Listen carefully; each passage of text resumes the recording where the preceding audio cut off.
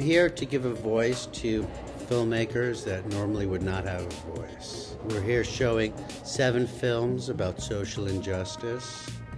These are films primarily by Santa Barbara filmmakers to supply entertainment and moral value to our community. So, movies by the people for the people. This is going to be a good opportunity to showcase different opinions and different experiences from women from all different backgrounds, 18 women's stories, and it'll give the audience a chance to see their own experiences with not having children, whether they chose to have children or they evolved to not have children.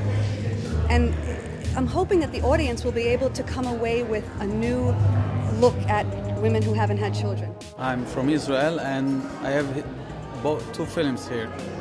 Uh, one called uh, Let There Be Light is about uh, living the Orthodox, Jewish Orthodox uh, uh, way of living and being secular and the, the things that you're going through in the process, the family. We um, took uh, mostly films that we didn't think would be shown in larger festivals because of their issues, because they're about um, very volatile social subjects at the moment.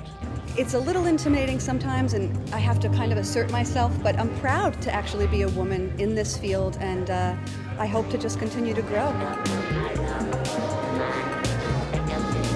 We're showing my movie, which is Blood Ganja which is about the raids and arrests that took place in 2010 here in Santa Barbara. There's actual studies that prove that marijuana, THC, CBD, all the cannabinoids within marijuana are effective. They're effective for many different ailments, whether it's ADHD, PTSD, or actual physical ailments you have on your body, cancer, chemotherapy that help with nausea. It's a very localized movie primarily about the Clinic Horty farm. The owner and his pregnant wife were unjustly arrested and charged with 46 felonies.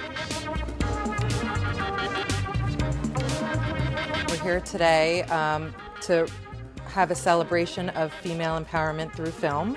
So we will be watching Femme and A Womb with a View with a large contingent of our community. We're very excited to be here and um, it's very important uh, for the community to be aware of everything that the Jewish Federation does and all the programs that we have for the community at large. Women are feeling more and more that they can uh, challenge themselves, they can push themselves, they can really reach uh, to heights that they never even conceived, you know, in the past.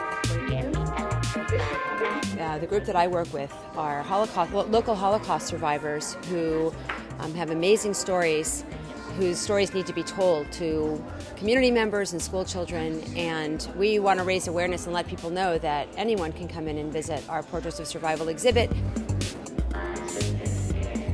The idea behind this is, is that if these local people can create these beautiful pieces of art that have moral value, then we at least, the neighbors of these people, the community, need to share in it and need to stand up and be counted.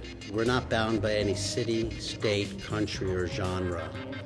We pop up where we feel we're needed. Now is when things are happening. Movies by the people for the people.